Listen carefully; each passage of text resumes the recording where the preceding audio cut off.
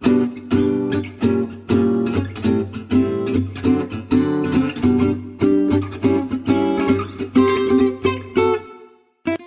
个，我们今天跟大家分享一下怎么做酸白菜。酸白菜哈、最重要的主角当然就是这个大白菜。我们选的呃白菜哈、不能拿那个台湾的包心白菜，一定要用这个山东白。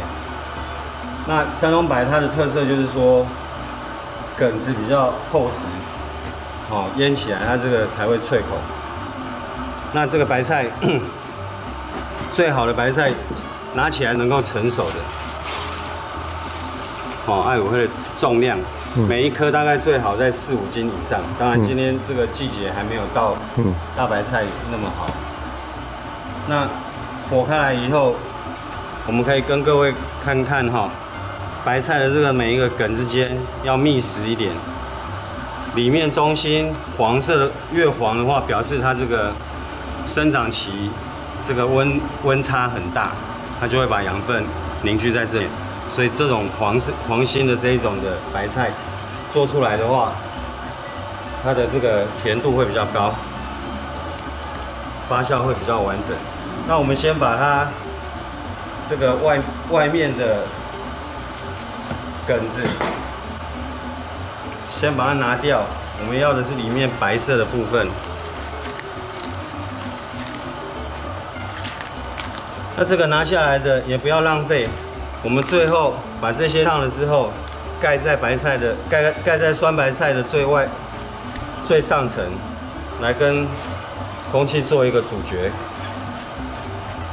哦，当然，大卫这边腌的量是比较大，你如果在家里面做比较小缸的也是可以的。好、叶子的部分是黄色的，就表示这个这个白菜是非常的漂亮，有没有？梗子之间排列非常的密实。那我们把它伙伴来做，啊、接下来我们就去做这个川烫。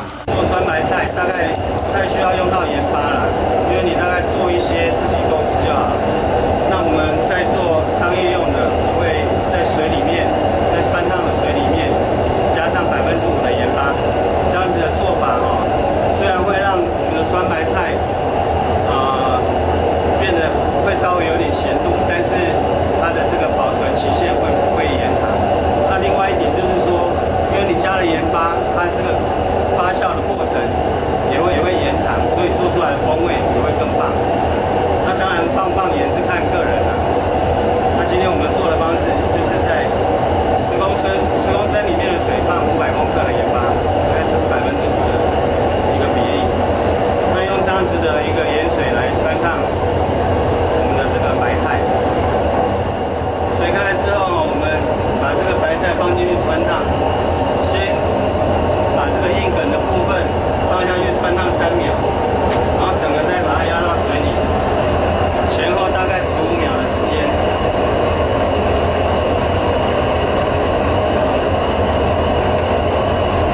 烫好的白菜，尽快把它捞沥干，然后吹凉。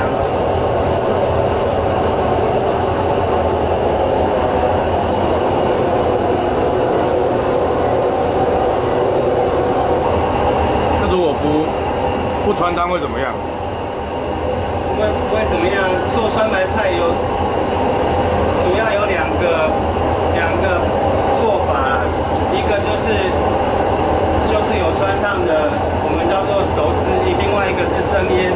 生腌就是其实在北方很多人做的方式是不经过穿烫的，那它直接就是下盐巴跟生的大白菜都可以做啦，口感略有不同。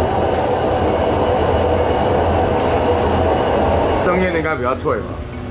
哎、不会呢。不会啊。对呀、人都是熟的哈，这种做法，它这个煮的时候，你现在腌了一段时间之后，它会变软，软了，但是你放到这个火锅里面去煮的时候，它还会再脆回来。嗯，我们现在用另外一个方式来取代，就是用网子把它铺满了之后，那上面就用用这个锅子来加水，增加它的重量，用这个方式来压，那这个压要一直压吗？要要一直压，压压力都压到它好。对呀、哦，你要因为你不压它，它会浮上来，浮上来。浮上来的时候，它那个接触到空气的话，就很容易长杂菌。哦。那这样做到熟成大概要多久？三个礼拜，二十一天，哦，三个礼拜就好了。对。那如果好了之后以，这种天气来讲的话，大概是二十一天。嘿，那因为我们有加盐巴，所以它的时间会略长一点，大概二十四到二十八天都可以。那它这个拿起来之后会保存呢？保存我们会用真空包。哦，啊，一般家家庭的，一般在家里面的话，如果你放在家里的话，以以这个汤汁掩盖过去，不发霉都是对，都是可以可以吃的啦。啊，所以说家里也不用特别把它拿起来，不用不用，一就泡定要泡泡在那个汁里面就对了。对对对，你要保存的话，一定要这是上礼拜腌的，对。哦，你可以看到它颜色已经变了。好，它自然它就会生汤出来。那我们判断它有没有有没有变质，就是看它上面会不会有长霉霉的菌落，像这种泡泡这都正。那个泡泡是正常的。那你现在就可以闻得到那个白菜这种自然的味道。嗯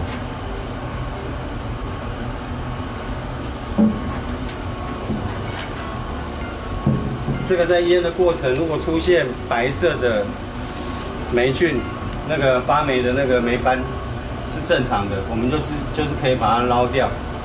它到最后可能会满布在满布着一层的那个嗯，白色的那个霉，那都是正常的。但是你就是要把它捞掉。要捞掉，对，避免影响这个味道。好，大概两三天开开起来看一次就可以了。